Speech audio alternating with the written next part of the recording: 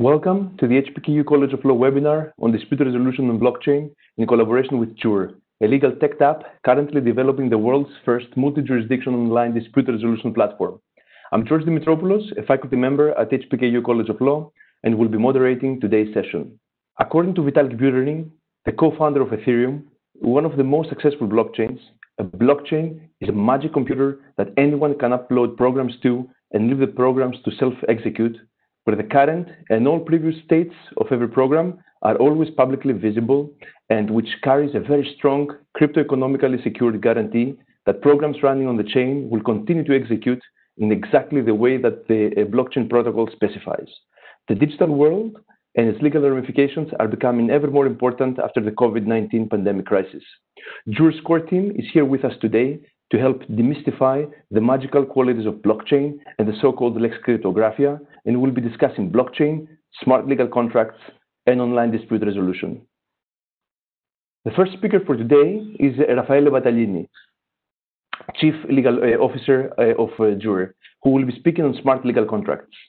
Raffaele is an attorney, founder of Battaglini de Sabato law firm, and offers legal advice to SMEs and startups in the fields of innovation and blockchain technology. He's a co-organizer of Illegal Hackers Torino. Our second speaker is Luigi Cantisani, a legal engineer at Jur, who will be speaking on online dispute resolution. Luigi is a lawyer at Battaglini de Sabato law firm, providing legal advice in the field of corporate law and commercial contracts to SMEs and startups. Our third speaker is Alessandro Palombo, the CEO of Jur, speaking on the road to decentralization. Alessandro is a tech entrepreneur with a legal background. He's the CEO and founder of Jur, as well as uh, several other tech initiatives. And we also have with us uh, today uh, Luca Daniel, the CTO of Jur, who will not be presenting but will be answering questions from the audience and coordinating the team's answers. Luca is an, investor in the field of blockchain, as well as an advisor for Blockchain India. Without further ado, allow me to give the floor, please, to our first speaker, Raffaele. Hello, Georgios. Thank you very much for this presentation. Thank you, everyone, for being here today with us. Um, my my topic is smart legal contracts, but of course, in order to do so, we need first to understand what smart contracts uh, are. And so there is a very famous sentence concerning smart contracts, which is smart contracts are neither smart nor contracts. Um, and we could uh, challenge this sentence, and we will try to do this during this presentation um, according to the time uh, that have that has been given to me.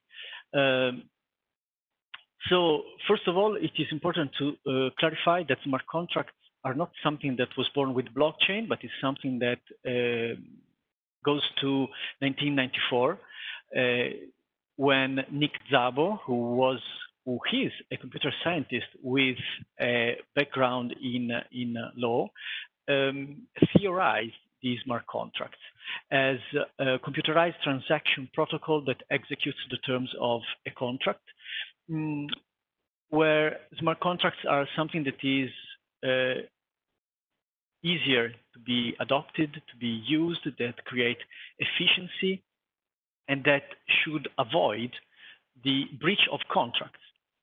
Um, in 1995, Nick Szabo suggested a new um, definition of smart contracts, where he pointed out also that artificial intelligence is not implied within the meaning of smart contracts.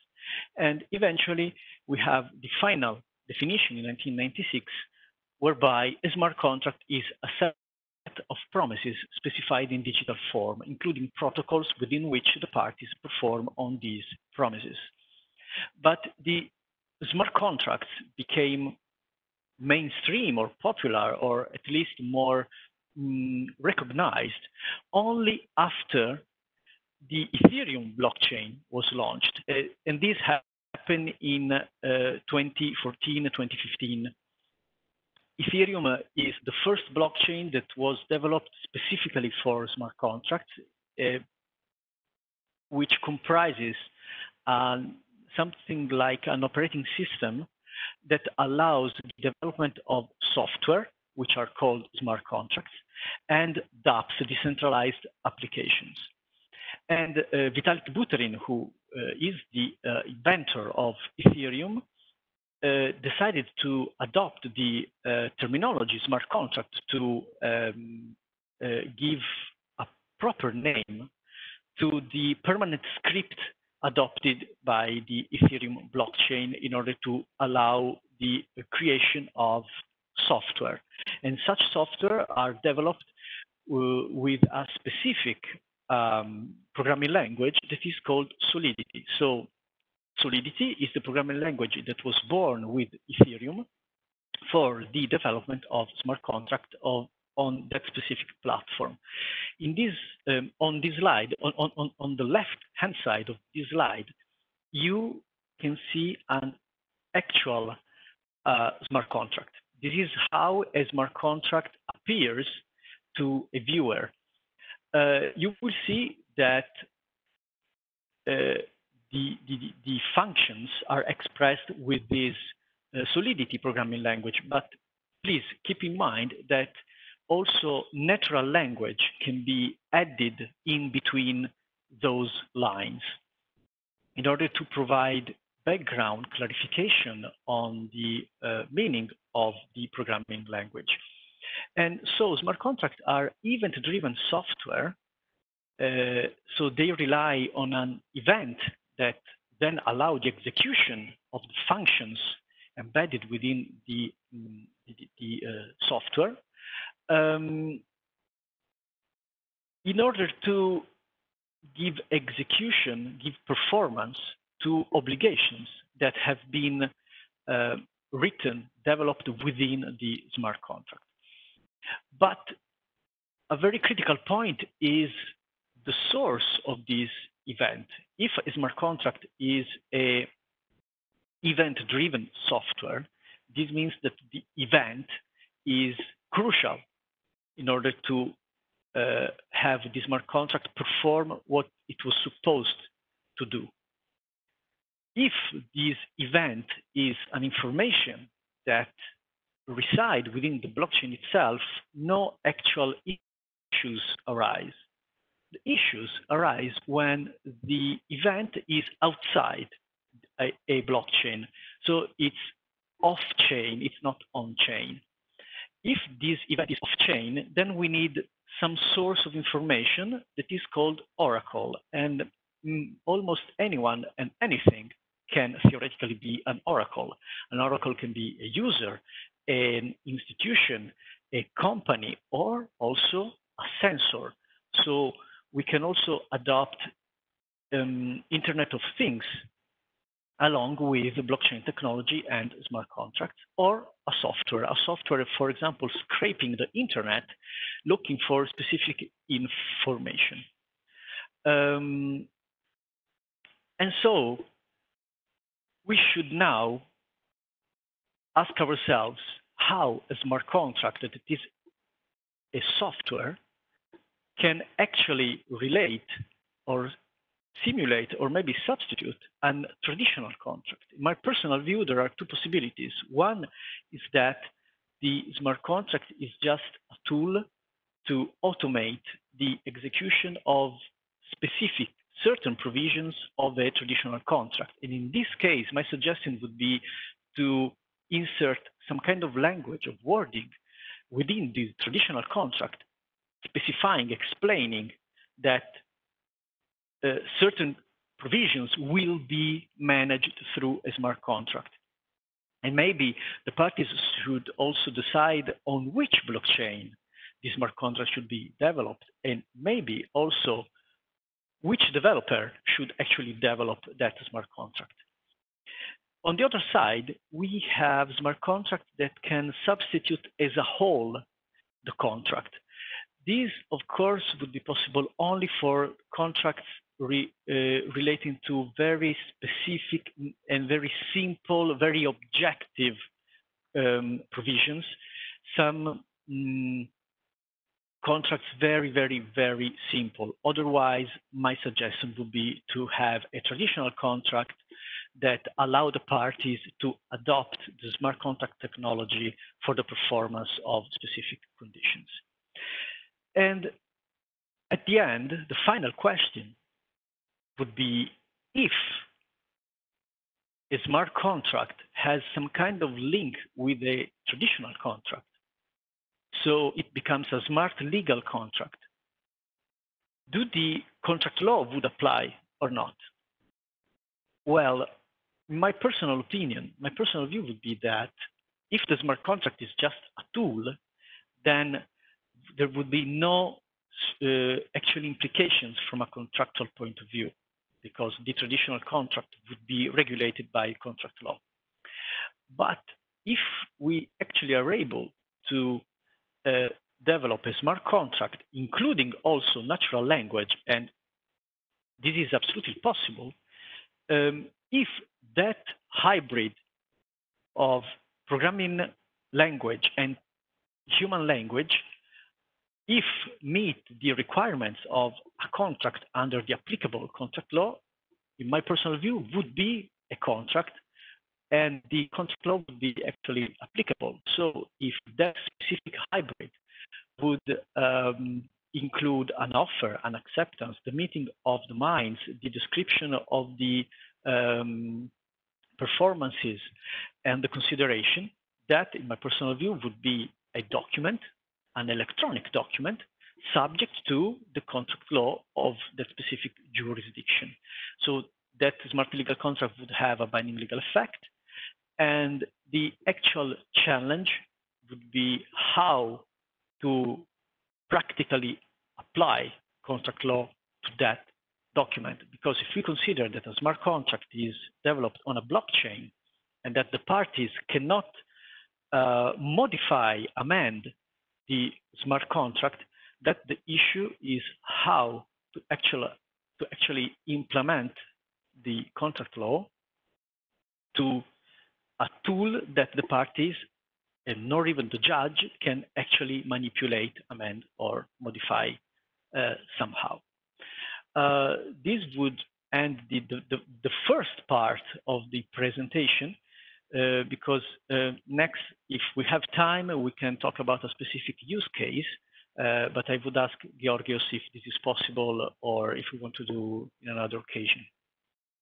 Eh, eh, I think this makes eh, perfect sense. May I please ask you, you know, one or two follow-up questions, specifically on the interrelationship between smart contracts and, you know, smart legal contracts, right?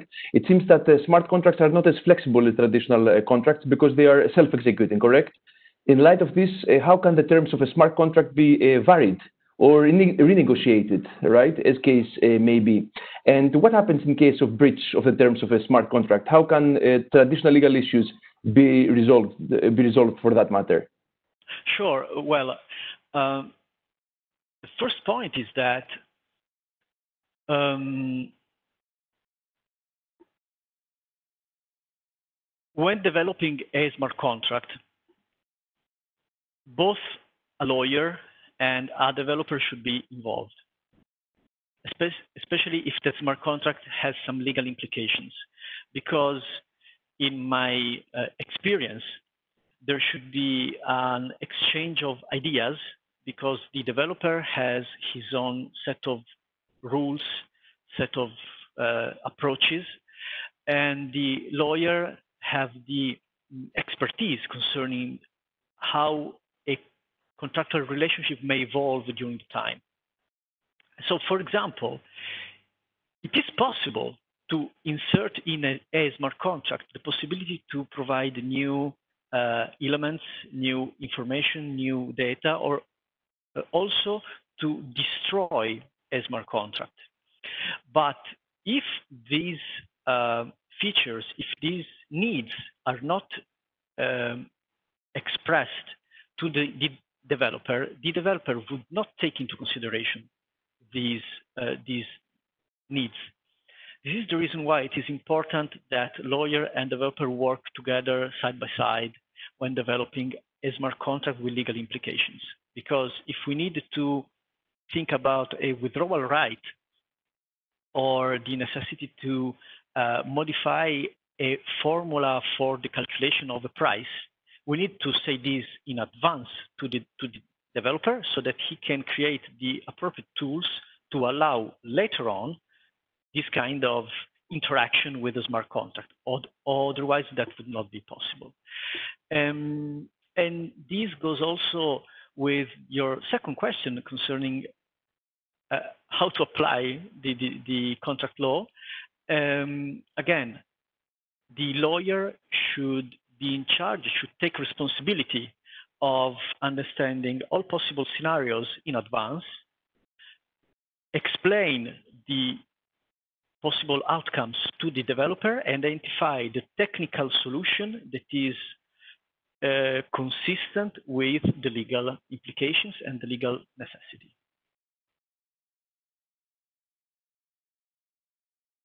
Fantastic. Thank you so much, Raffaele.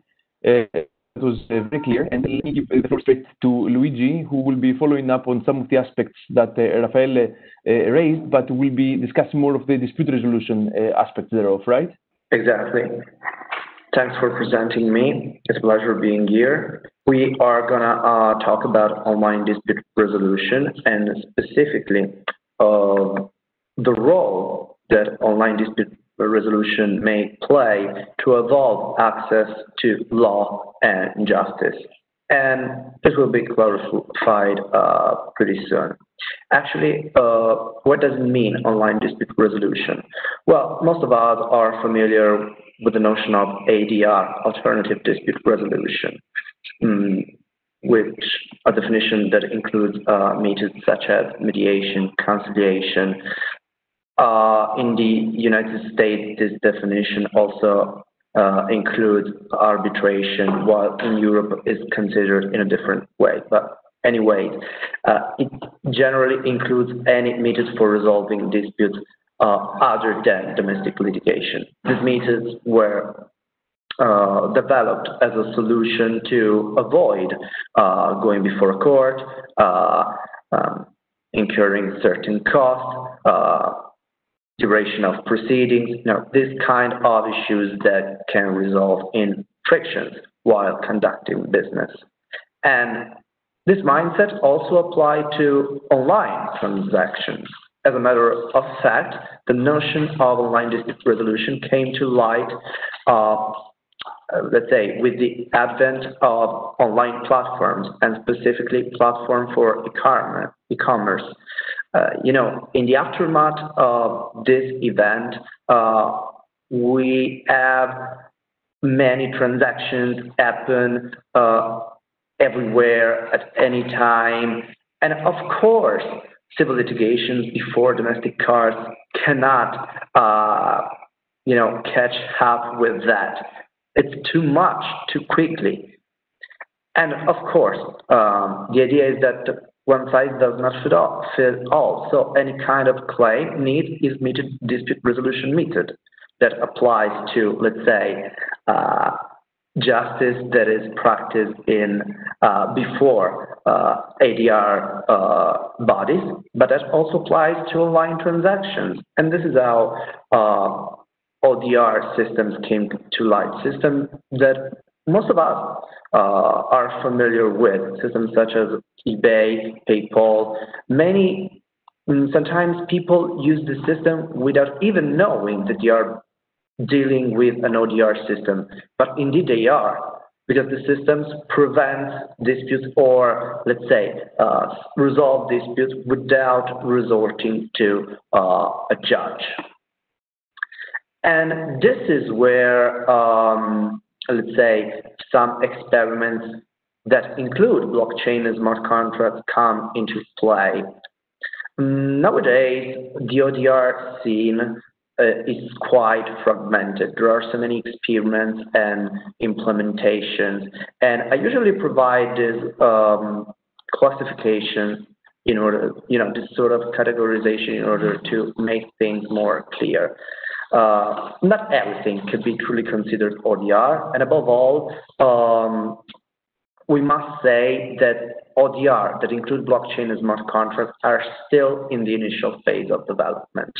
So just to uh, provide a quick framework, on the one hand, we just have online features, all right? So features that are meant to streamline certain procedural phases. Uh, this means that not the entire uh, dispute resolution uh, proceeding happens online, but just the face of it. For instance, submitting the claim or uh, managing a notification, something like that, or virtual hearings, for instance.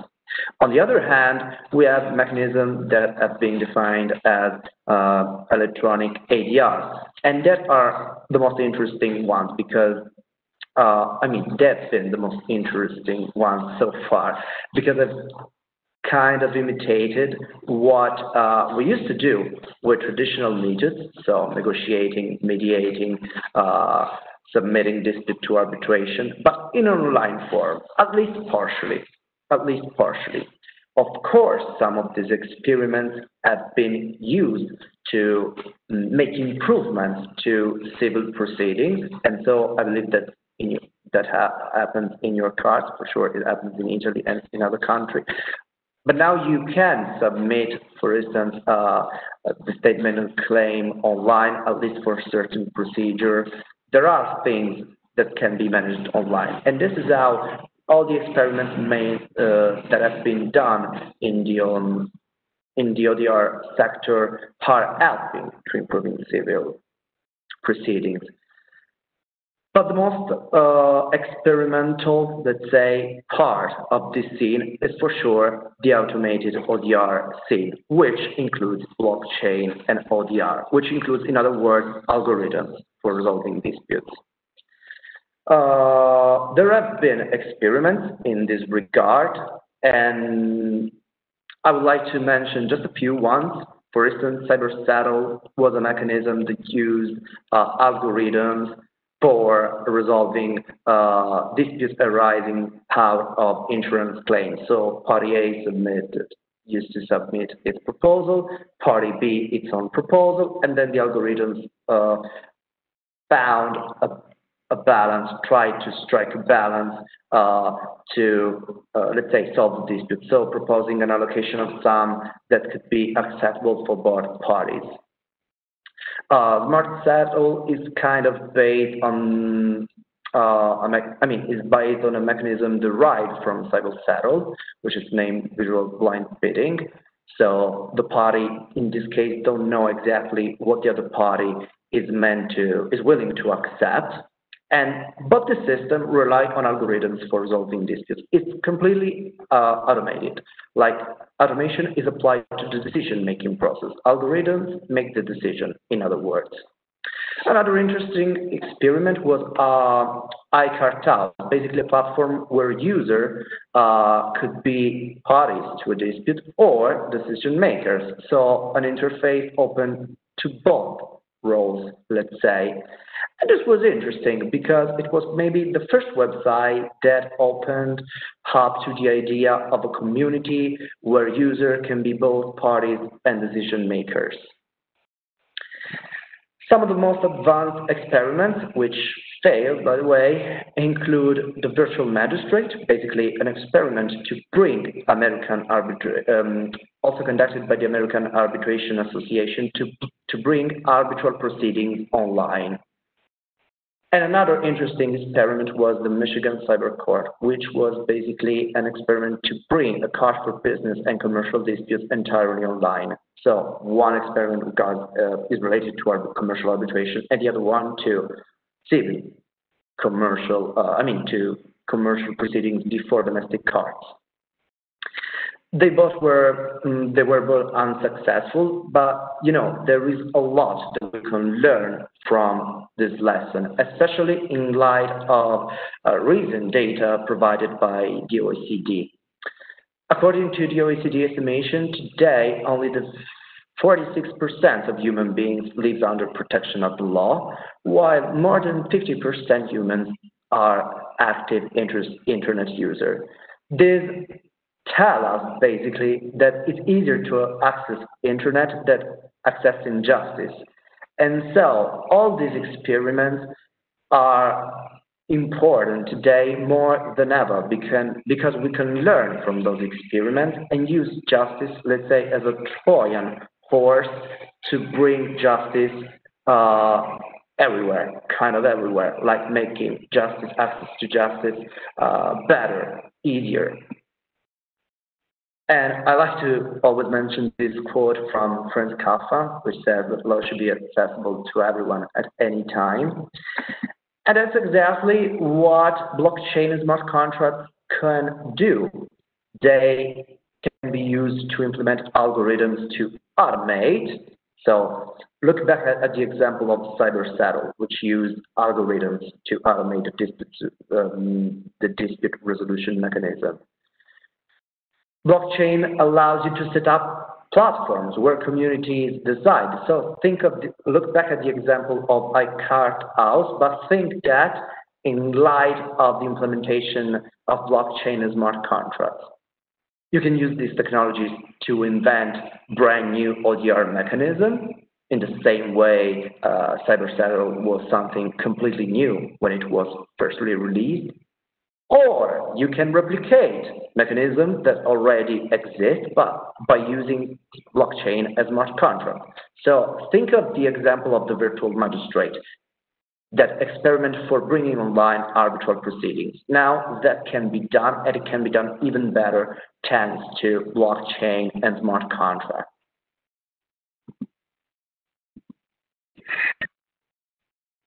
Uh, thank you.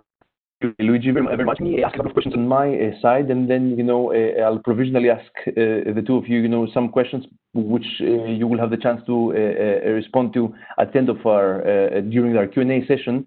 Uh, now, how exactly are smart contracts enforced by uh, ODR? It would be uh, great if you could illuminate us on this. And what advantages can blockchain bring to dispute resolution specifically in ODR, right? So the exact relationship between, you know, the blockchain on the one side and ODR, if you could elaborate a little bit, you know, in greater detail. And do you think that smart contracts or blockchain in general can can help in cutting down procedural costs as well as the time for dispute resolution? Yes, sure. Let me answer your question.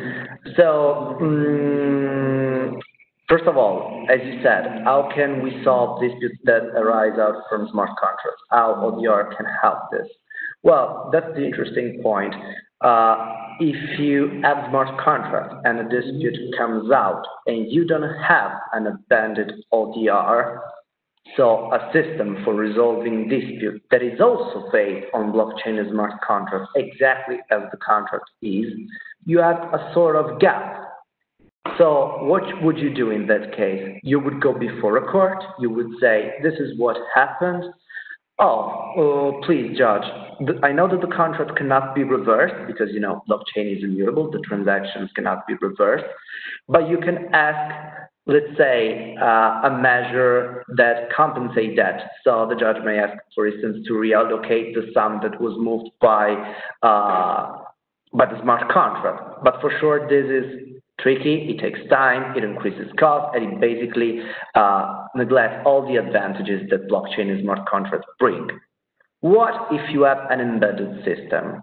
Like, let's do an example. What if in the very moment party B breaches the contract, you can, by simply clicking on your computer, start a dispute, and the input that you give becomes an extraction that basically uh, trigger another smart contract, but a smart contract that, let's say, is in charge for handling disputes. You know, when we draft clauses, we are familiar with the idea of multi-layered clause. You know, for instance, if there is a disagreement, the party may appoint a third expert, a third party expert that decides on the matter. If the experts cannot provide an opinion, party go on mediation, and so on and so forth.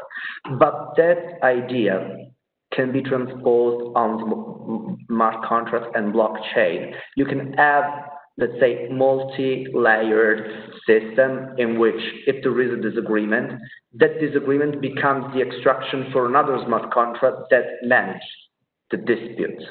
And that's the advantage of having both on the same platform. And we tested that with a system developed at Jur. We did that also with students at universities. Uh, we split the class, and so a student played the part of the claimant, another one played the role of the respondent, uh, so party A and party B. at some point they simulated a dispute. The system uh, allowed them to renegotiate the terms within 24 hours. So before starting the dispute, they could change the the amount, the allocation of the sum, or extend the duration of the contract. So in some way, you could even, you know, modify uh, certain terms and reach an amicable solution. If expired after the expiration of that line, uh, no amicable settlement was reached, then the, the matter was basically submitted to other user who served as decision makers. So other users of the same platform that play as decision makers. And that's possible only if the system, the contract, and the ODR are connected by smart contract because basically what happens as a output of a smart contract serves as an input for the next smart contract that manages uh, the dispute. Uh, perfect. Thank you very much, Luigi. A, preview questions that we will be asking during our Q&A. Uh, one of the questions is about termination of smart contracts. You know, uh, it sounds like it never ends, right? I guess, you know, it would go to both of you, Raffaele and uh, Luigi. And uh, uh, uh, we do have a question on intellectual property rights and how they are reshaped, shaped and reshaped in the particular field, as well as, you know, whether we have data on winners and losers, right, in ODR. But let us take everything, you know, during the Q&A session. Uh, but uh, uh, before addressing those questions, let us go to Alessandro to deliver his own presentation. Hello, everyone. So I'm really glad to be here with you today. In my speech, I want to give you an overview and um, of something which is going to probably change the world in the next 10 or 15 years. Um, I'm, I always like to, um, I mean, mm, collocate the, uh, I mean, this kind of really short speech, remarking how, to some extent, it's like if today we are in 1995 for the internet. So, uh, for every one of you that are that is probably a tech passion, passionate, this is a huge opportunity because uh, it is true that everything is still immature, but it is for exactly this reason that there is so much to do, and that's why it's so exciting to be here all together today. Um, let's understand quickly why I'm saying that and what is a DApp or decentralized application. In uh, technical terms, uh, as you know today, most of the applications, for example, Instagram or Twitter, they are running on a centralized server. This um, technical aspect implies that every time you, for example, uh, connect over Instagram or over Facebook with other people, there is always an intermediary. There is Facebook Inc. in this case, which is, of course, managed and led by uh, one single person. His name is Mark Zuckerberg. Um, since 2014 and onwards, uh, mm, as Raffaele explained to you, um, progressively, uh, a lot of people and tech enthusiasts uh, found really interesting uh, how it's possible to uh, use smart contracts for uh, creating new platforms where, or which means new applications, where uh, intermediary entities are reduced potentially to zero. Why? Because there is no centralized server, and rather there is a code which is running on a decentralized peer-to-peer -peer network which means for one instant only imagine Airbnb without Airbnb, where you can directly through smart contract book an apartment of someone else from on the other side of the world. And you and the counterparty are both safe thanks to the rules written in these smart contracts. Um, ideally, just to give you um, a bit more information, this is a two layers problem which might regard also not only the back end, but also the front end. And at that level, there are already some solutions like IPFS um, um, systems, which means essentially that uh, ideally also the front end of a website could be stored in a, let's say, decentralized server fashion to keep it really uh, simple and clear. Uh, this explanation is not really helpful. It's, what is really helpful is to understand, in light of these elements, what uh, going to change and why. Um, let me give you one example. Mm, probably most of you are users of Facebook or Instagram or Twitter. Let's use Facebook as an example. Um, today, when you, I mean, I don't know if you have seen recently the movie uh, The Social Dilemma, right, which uh, discussed really widely about, you know, the usage of the data from um, social, I mean, um, platforms like Facebook. But what matters is that um, if you have a um, Facebook page, and after a few years, after you um, created a, an amazing, let's say, number of followers and engagement, if, if after a few years you want to close your page, you're going to lose almost everything because it's the platform to keep the value of the relationships, of the data, of the connections. What does it mean? It means that there is one entity, a central entity, that is keeping most of the value.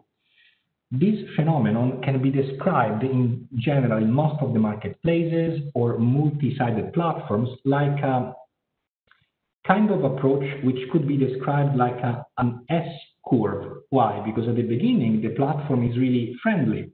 It's going, it's going to tell you, hey, please join me. I'm super uh, helpful for you. Open, look how many features I have, and the platform is not going to extract value from you. After the platform goes, grows and grows, and maybe after the IPO of the company, then there is an interest from the platform perspective to extract value from the community, from the users. And at that point, there is a kind of friction in place. Why? Because you probably have read many times about privacy policy modifications or commercial strategy modifications. And the platform by itself is fully empowered to do most of the modifications they want to do without, I mean, uh, giving uh, accountancy or accountability to anyone else. So um, this kind of model has some problems.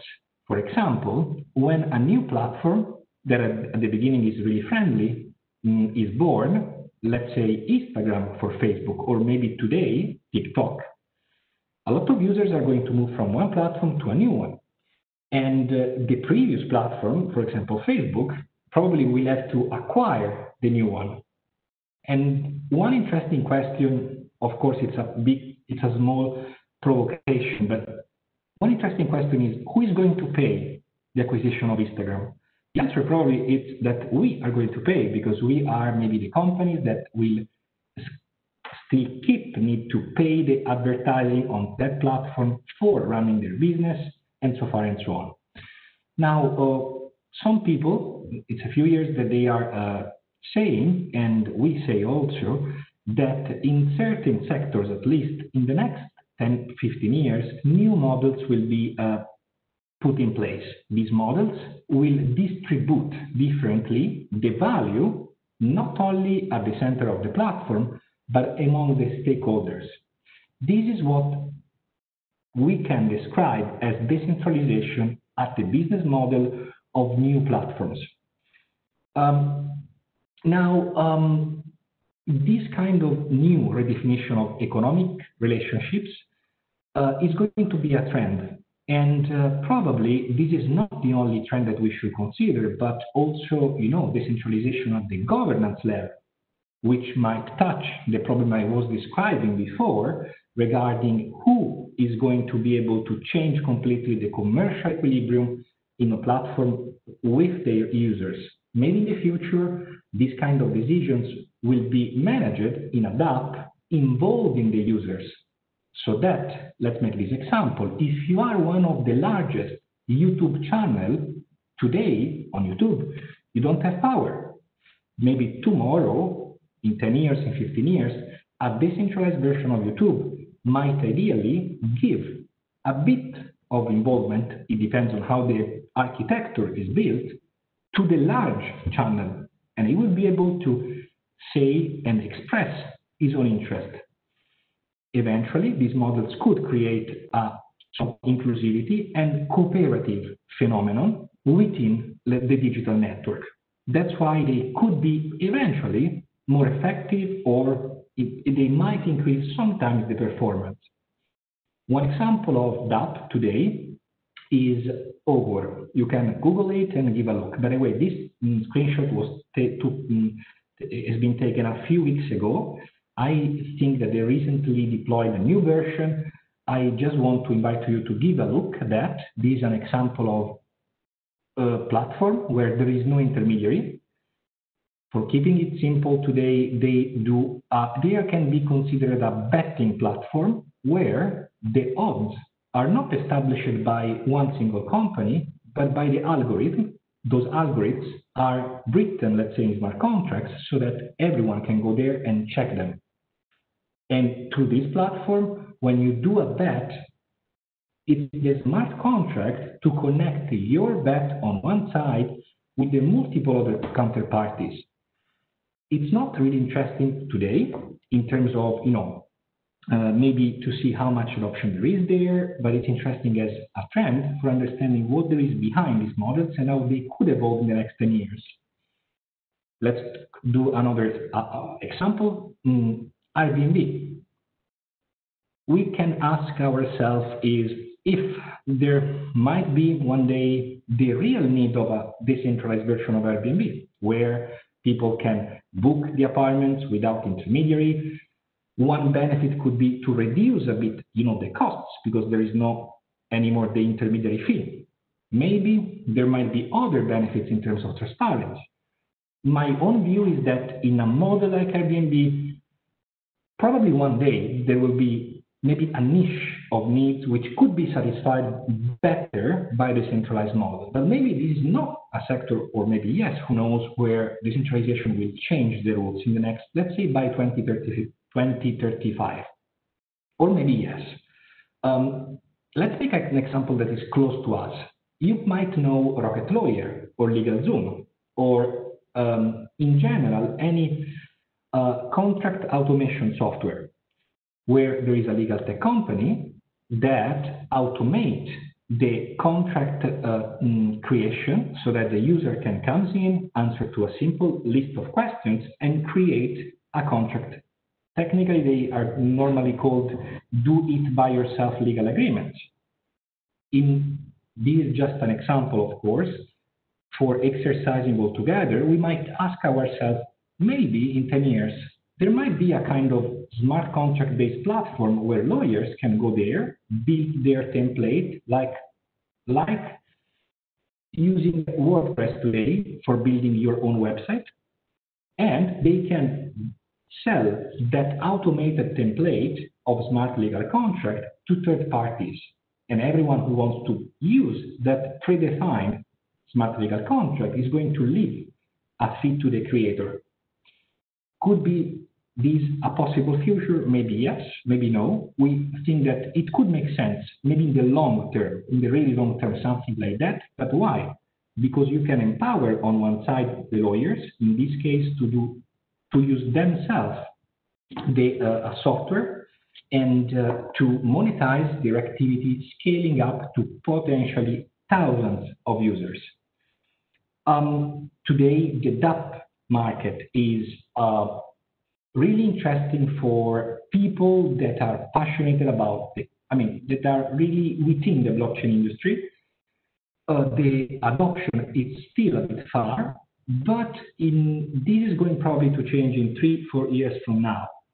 Um, of course, the first uh, application of the um, this kind of um, technology could be considered more, uh, let's say, uh, advanced in sectors like gaming or betting. You can give a look when you want at dappradar.com and you can have your own tour about these applications.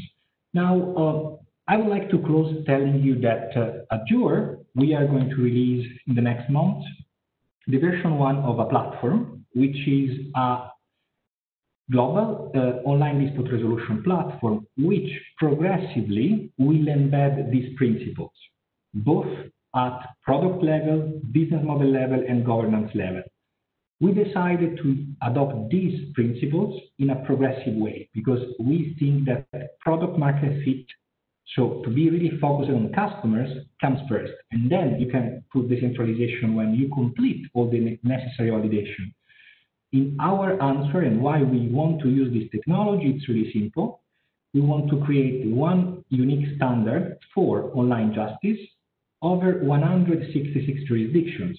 We follow the UNCITRAL model law on arbitration so that the legal validity of the, out, the decision made on the platform is a fully legally binding arbitration.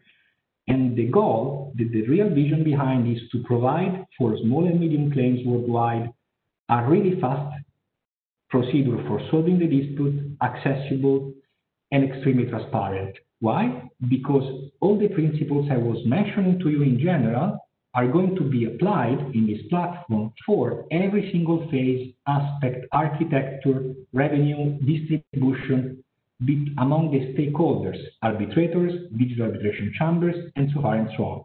So that when a user comes there, they can check that the entire procedure is really transparent and therefore independent from political interferences and commercial interests, which is, in my opinion, one huge need that in this case, really decentralization could be a, an excellent use case. If you want to follow our next milestones, please, uh, you are free to, um, I mean, give a look to our website and uh, uh, we would be really glad to keep you posted about the next steps. So uh, thank you.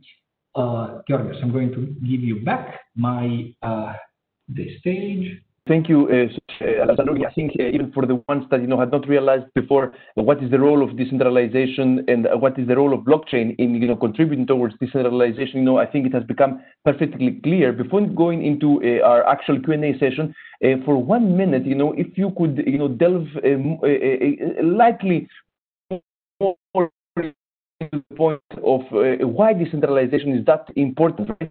You mentioned for you know what if we from the Mark Zuckerbergs, right, uh, who are developing the uh, uh the, um, uh, the, the various uh, platforms, right? You know, Zuckerberg has been replaced by Vitalik and Vlad Zamfir, or you know, hopefully by Alessandro and the team, right? well. Well, mm, thank you. But I mean, if we do properly our job, actually, we should not be the next, let's say, uh, central entity. Rather, maybe we should become a kind of decentralized entity, which, of course, in my opinion, the, right balance between center and extremities is going to be drafted in the next year. Probably there will be still a dualism, but the roots between, you know, stakeholder and owner of the platform maybe will be more you know fair, more inclusive, more cooperative. So if we do properly our job, probably there won't be a kind of central uh, authority, which again maybe in some areas is really justified. I want to clarify that I'm not saying that the world is going to become this one, but in several sectors, in my opinion, is going to be a, a, a disruption. Uh, my answer, to be short, is uh, uh in this phase of the market, in this in the current phase of the market, we are still really uh, early stage. So the rules of these games and the models, and that's why it's so interesting, are still being built and maybe a bit also in our sector by us. So what we find meaningful is, uh, Georgios, to distinguish decentralization at three different layers, because this is going to be, in my opinion, one common element over the next five years in many projects. Business model, product features, and governance. These three layers imply different values and competitive advantages, um, I mean, compared to centralized solutions. And each one of them should be discussed really deeper. So uh, it, it depends. So uh, if we look at the business model, there is a different value distribution where ideally the YouTube the, the, the owner of a large channel of YouTube is going to get eventually more money. In, at the governance level, it means that his voice is going to be heard much, much more. And at, the product features, it, it depends really on the application. In our case, just for giving one example, of a really simple implementation we are going to validate and integrate is the randomized selection of the judge, who will, let's say, decide if someone is going to be the arbitrator for your case? Is going to be a smart contract transparently on certain input data that everyone can go and check. And this is an element, of course. Thank you, thank you. You know, that's a, new uh, understanding of the natural judge, uh, I guess, right? You know, which makes uh, perfect sense in my eyes and ears. perfect. You know, I've already hinted at some of the the questions, and you know, from what I can see here on our tab, there is one question on confidentiality that we need to address. And if we are able to move now to some of the, the questions that are to be addressed to you, uh, let me see, we should have uh, accumulated uh, some of the questions. But we can start by addressing the, questions that have been raised uh, already, right? The, four questions that I mentioned uh, already. So termination of a smart uh, contract, can it be terminated? number two, what happens with the copyright intellectual property law, right, in this new decentralized environment? winners, losers in the online environment, and whether we have any data uh, on this. And uh, uh, number uh, four, the issue of uh, confidentiality of the data on the blockchain, right? These are uh, all very important issues to be addressed. Now, and we have a couple more questions here. May I ask, you know, each and every one of you to to discuss the point that we just made for approximately, you know, four minutes in total. So one minute each, if Luca is going to present to discuss anything as well, so that we know we take a second round here uh, uh, from uh, our PowerPoint slide. Thank you so much. Good evening, good afternoon, everyone. Uh, I think we can start definitely with the questions since the audience has been really engaged and participant. So it's really uh, good to see that. Uh, going with the first one from Susan. how can you terminate a smart contract? Sounds like it never ends. that's that's correct. That's I mean it's a fair observation. In this specific case, uh, I just go back to you know uh, what Raffaele has shared before, which is uh, a smart contract. It's it's you know it's a software, it's a computer code, right? That needs to be well developed at the beginning of from the start, right? And that's where we do need to have lawyer and developer together to understand the actual legal requirements of the contract and you know the actual implementation of the contract. So, for example, if a smart contract is meant to end, okay, so for example, say that you have a smart contract that represents um, an exchange of goods that should happen within a specific date, okay? After that date, potentially the developer could insert a provision within the smart contract that destroys the contract, the smart contract, and no one can after that interact with the smart contract. So, you know, uh, it all goes down, boils down to requirements from the parties that are getting into the contract. And, you know, generally this is, this should be suggested by, by, lawyers, by professionals like you, like future professionals like you that need to understand how this technology works to be able to suggest in the best way to your clients. I don't know if, uh, Rafa, you want to uh, chime in and complete what I said?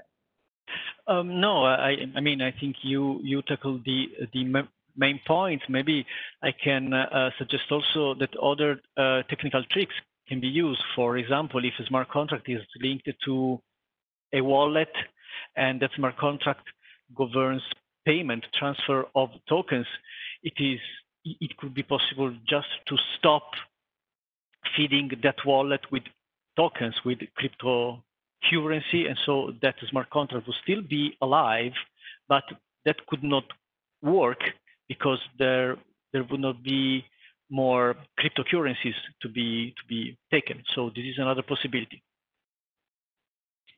I think there is a great question regarding, you know, intellectual property law. Oh, sure. Uh, you might want to tackle, Rafa, because yeah, it's, sure. it's your no, uh, that's a very nice question, good question. Um, we need to, first of all, start from the beginning, meaning that uh, there are licenses governing this code.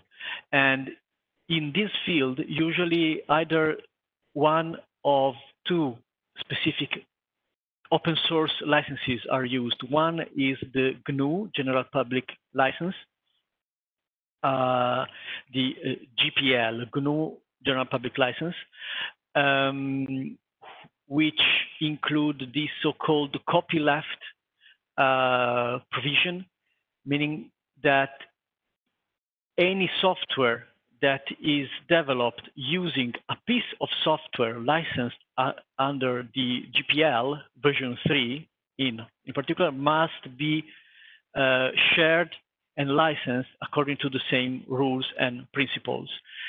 The other license is the MIT license, which is the uh, opposite of the GNU license because of the GPL version 3 license because it doesn't have it doesn't include this copyleft uh, provision and so any developer can adopt a software licensed through the MIT license and is not bound to share or to relicense that software through the same license.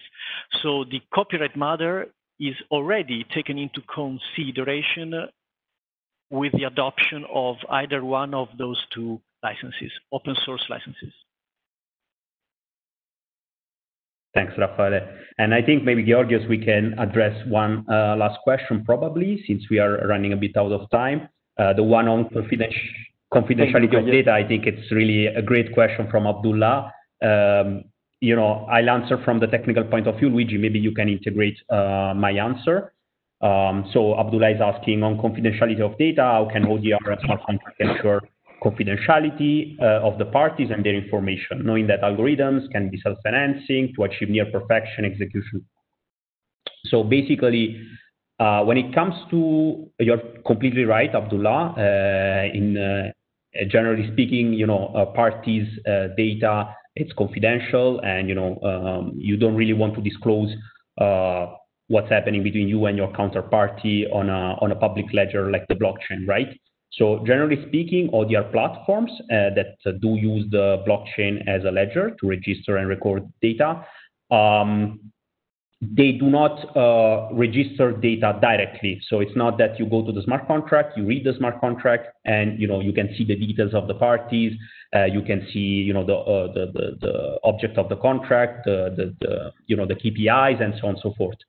Uh, what happens generally is that in the smart contract, we do store an hash, which basically it's a string representation of that information, of the original information. For example, my name is Luca, and you know it will be like uh, one, two, three, four. Okay, and whenever you do this process of uh, hashification, basically whenever you put Luca inside, it will always give one, two, three, four. So what happens is that the smart contract is more like a support like a memory of what happened, for example, uh, in the contract, the, the, provisions of the contract, but it does not contain the actual plain text of, you know, uh, I went into agreement with you, for example, or, or something like that. So only the original parties that have the original agreement can upload, hashify it, and check on the smart contract that, you know, is actually uh, matching. Okay, so that we have kind of a, uh, an authorized way, an auditable way to check that that was the agreement, it was registered, and so on and so forth. More complex smart contracts can have, uh, mm, you know, embedded behaviors. Like, for example, I pay uh, a certain amount on the smart contract, and the smart contract does something on its on its, on its uh, hand. These kind of behaviors can be read from the smart contract, but not the actual input data. As far as it's well developed, there are of course smart contracts that do instead store data plain text, but that's not what an ODR platform will do since, you know, information should be confidential. Maybe Luigi, you can quickly skim through this and we give the uh, line back to Georgios. Yeah, thanks for your technical explanation. Uh, on the legal side of things, um, the first thing to keep in mind, obviously, when we're dealing with uh, personal data, is how the GDPR um, works. And that's important because also non-European countries are adopting legislations that are inspired by the GDPR. And it's not by chance, it's not because the GDPR Qatar, in fact, is an yeah. example.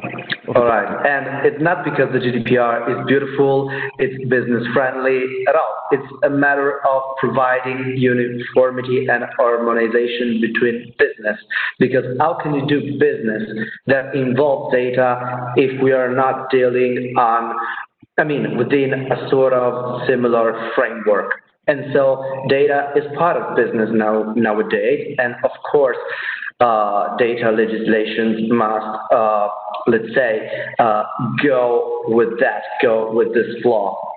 And on the legal side of things, uh, you know, we should stop thinking in terms of uh, blockchain is decentralized. How can I make it GDPR compliant? It's not about that. It's a matter of making relationships between between players compliant with legislation. So let's say that Jur is developing a platform. Okay, but what's the role of Jur? Is Jur that is uh, as really the ownership of data, or is Jur just a service provider for, let's say, a digital arbitration chamber? Because if that's the case, Jur is more a provider, and the arbitration chamber is the data controller. That's the definition used by the GDPR. So let's stop being scared by technology and let's look at the way business relationships are handled in light of this existing legislation. And if you take into account certain technical measures, like storing certain data on chain and other data off chain, it's easier to deal with this sort of privacy uh, law compliance. Fantastic. Uh, uh, if I may ask uh, uh, uh, uh, Luca, I guess, for 30 seconds to let us know how our students, you know, or other people being interested in the blockchain technology to be involved with Jur, and then let us wrap up our session. Thank you, Georgios. Yeah, for sure. Um, everyone that joined, you know, this event is free to follow us, of course, in our social channels, mostly Telegram. You can, I mean, I just shared the link in a bit. Uh, we are also planning an actually a global internship program across the world, and this will be uh, launched probably in a couple of months. So we are stay tuned for that because we would like to involve the best talents across the world, and it will be wonderful to have uh, some applicants from uh, from Qatar, of course. So please stay tuned for that because we're looking forward to see you know uh, new law students, new law legal talent joining the blockchain industry from Jur for the wonderful presentation, very complex topic. And I would also like, on my behalf, to thank Sandia Moniz and Ezzedine Abdenebi for their very hard work in preparing this uh, webinar. And many thanks, of course, as well to our audience for their participation and questions. And please do remain involved in our uh, activities on law and technology, and we look forward to seeing you in one of our uh, next events. Thank you. Thank you very much, everybody. See you next time. Bye-bye.